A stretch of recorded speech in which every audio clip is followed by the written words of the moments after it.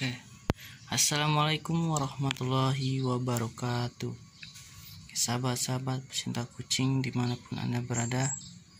Oke ini ini hari keempat ya pengobatan kucing yang kakinya pincang. Dan ini hari keempat sahabat setelah ditaburi dengan obat mujarab yaitu menggunakan obat menggunakan obat balur parem pusaka ya sahabat. Obatnya dari warung. Nah ini saya kenalkan dulu ini namanya boba. Boba. Oke dan ini namanya bulbul. Oke.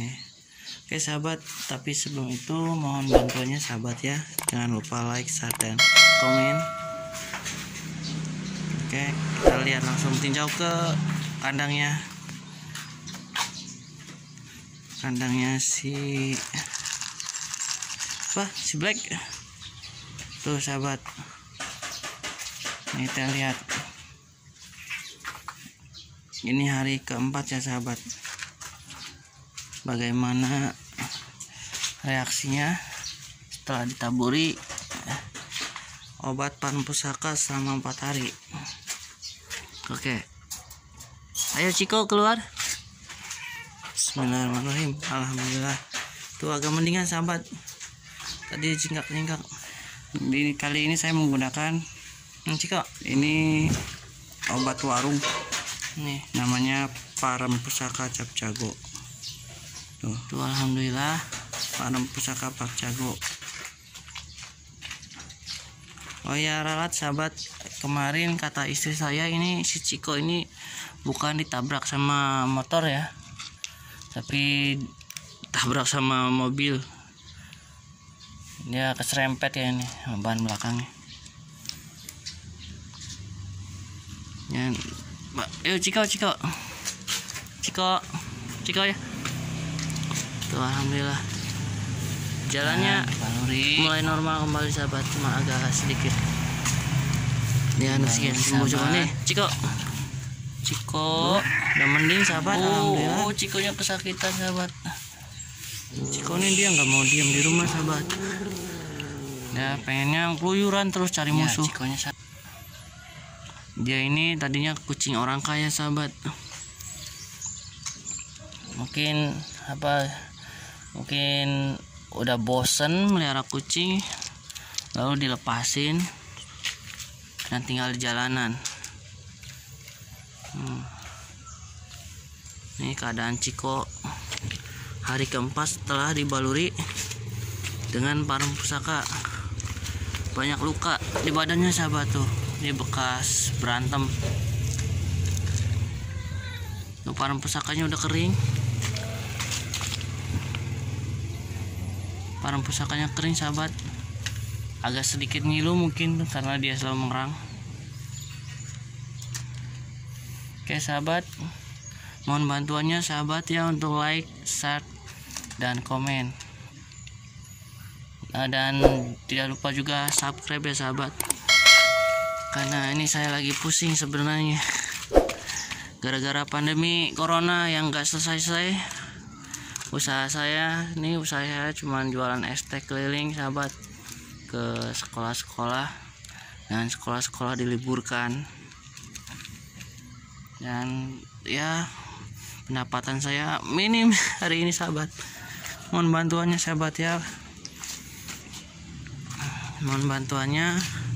Subscribe channelnya bulbul channel sahabat. Biasanya mancing. Sekarang saya nggak bisa mancing sahabat. Biasanya mancing kalau setiap hari minggu atau mancing sambil jualan tapi sekarang nggak bisa sahabat. Gara-gara corona ini nggak selesai-selesai.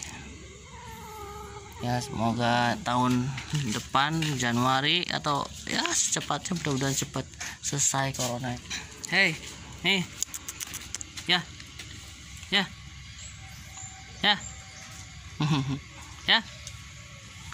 Nih sahabat nih anaknya anaknya Ciko sama Bulbul Hmm? Hei. Tara. Rara. Anak keciko sama bulbul. Namanya Rara sahabat. Rara. Lihat ya di foto oh. Rara. Oke sahabat di video ini saya tidak bermaksud untuk menggurui ya sahabat cuman berbagi pengalaman seputar cara mengobati kucing sahabat. Nih. Jadi ini pengalaman saya ya setiap mengobati kucing. Oke. Ciko. Di dalam ya ya. Ciko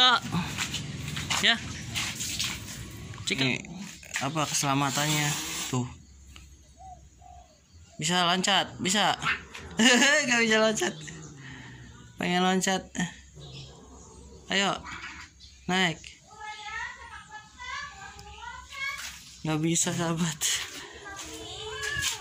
Masih belum sanggup untuk loncat sahabat. Hmm. masih sakit paling. Ya memang kayak ini patah mungkin punggungnya jadi agak butuh waktu lama. Cuman ini udah bisa berjalan sudah mendingan sahabat oke sahabat sekian videonya. Jangan lupa like like share like share komen dan subscribe sahabat. Terima kasih telah menonton. Assalamualaikum warahmatullahi wabarakatuh